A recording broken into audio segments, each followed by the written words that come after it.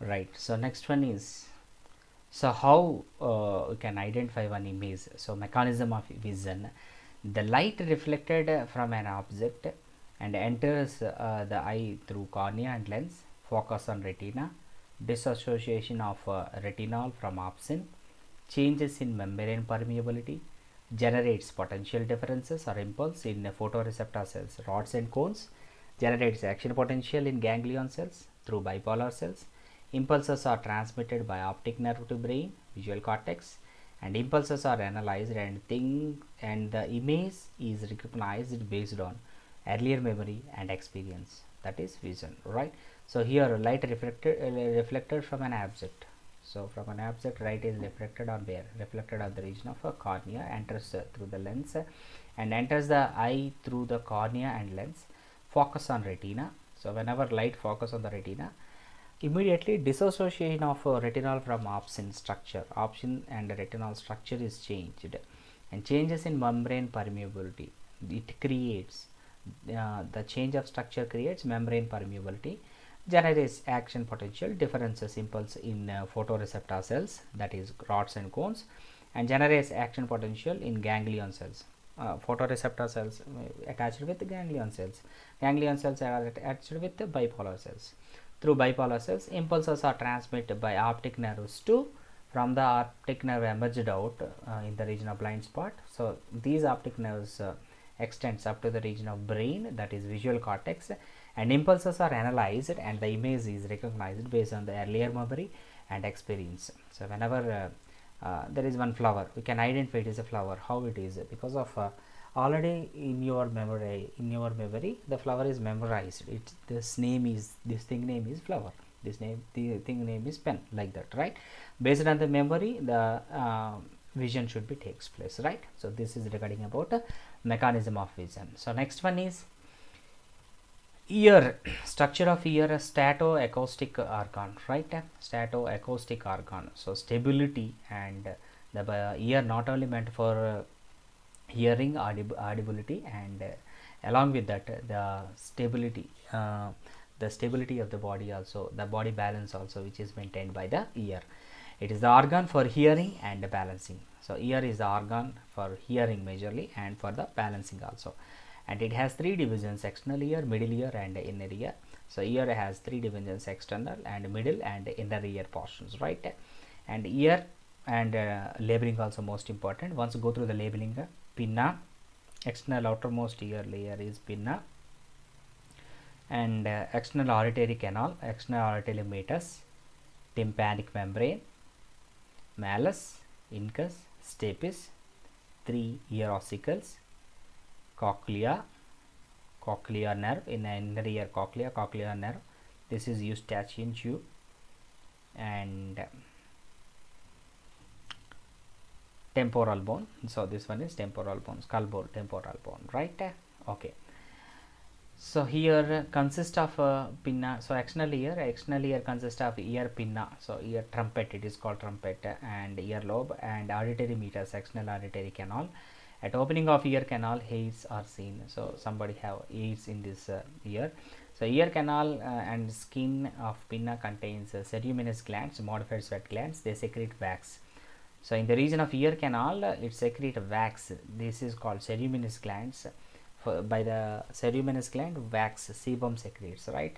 Wax and hairs protect the ears from the foreign objects. So both wax and hair presence of hair it protects the uh, foreign objects enters inside the ear right? Ear canal ends in tympanic membrane uh, are also called tympanum or, or im, uh, eardrum it is semi-transparent membrane covered by the thin layer of skin uh, on its outer surface and by mucous membrane on inside right? So there is a tympanic membrane is presented right? As tympanic membrane are also called tympanum or eardrum.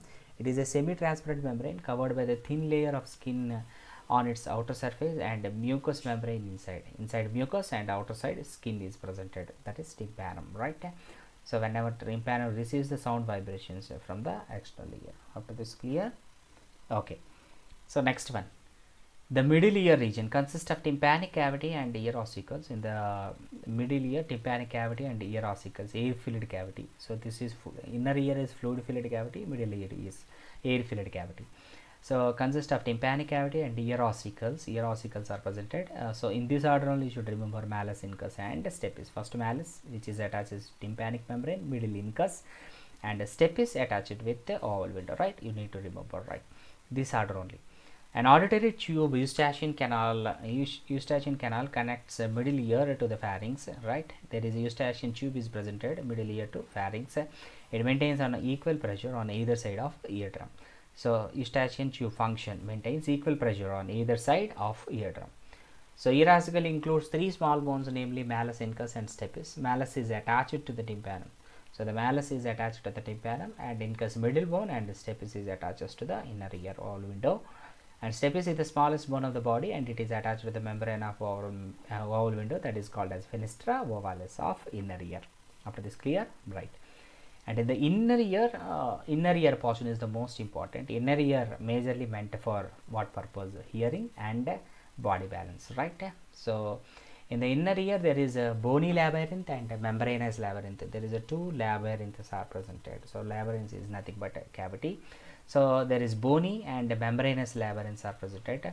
So bony labyrinth cavity filled with perilymph and the membranous labyrinth consists with the cochlea and vestibular apparatus right so in the notes i clearly given just uh, go through the notes. You can easily understood uh, what is labyrinth so what is the different types of labyrinth and how it is arranged right?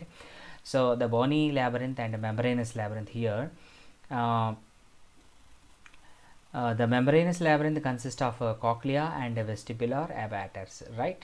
So cochlea and vestibular apparatus right so cochlea is majorly meant for uh, vis uh, majorly meant for uh, auditory and vestibular apparatus majorly meant for body balance right? And next one cochlea the organ of hearing right? In the inner ear which portion which is helpful? Organ of hearing which is helpful for hearing that is cochlea okay? Right. And bony labyrinth the cavity filled with perilymph and between the bony and membranous labyrinth what is presented? Endolymph is presented okay? You should need to remember. And next one uh, inner ear uh, it is a coiled structure having three canals upper scala vestibuli cochlea. Cochlea in the inner ear cochlea it is a coiled structure having three canals upper scala vestibuli middle scala media and lower scala tympani. There is three canals are presented in the region of uh, cochlea. So upper canal is called scala vestibuli middle canal is called scala media and lower is called scala tympani Scala vestibuli and scala media are separated by the Reissner's membrane. This diagram also most important, uh, very very important for objective purpose. Scala vestibuli and scala media are separated by the Reissner's membrane. The membrane which is presented between scala vestibuli and scala media is called Reissner's membrane and scala media and scala tympani are separated by basilar membrane. Between the membrane presented between scala media and scala tympani that is called as basilar membrane. So this one is scala tympani scala media and scala this one is scala vestibuli scala media scala tympani right? So how you remember this is media and scala middle presented so that it is scala media and upper portion scala vestibuli and lower region is scala tympani okay? And this membrane is Reissner's membrane and this membrane is basilar membrane okay? Right Scala vestibule and scala tympani are filled with uh, perilymph and scala media is filled with endolymph. So scala vestibule and scala tympani filled with water, perilymph. So scala media which is filled with endolymph because it is a membranous labyrinth. Okay. So here given right. Bony labyrinth is cavity filled with perilymph. So bony labyrinth cavity filled with perilymph. Okay so scala vestibuli and scala tympani both are bony labyrinth and this one is membranous labyrinth. Means membranous labyrinth which is covered by the bony labyrinth. Uh, once go through the notes you can understood uh, you can uh, uh once refer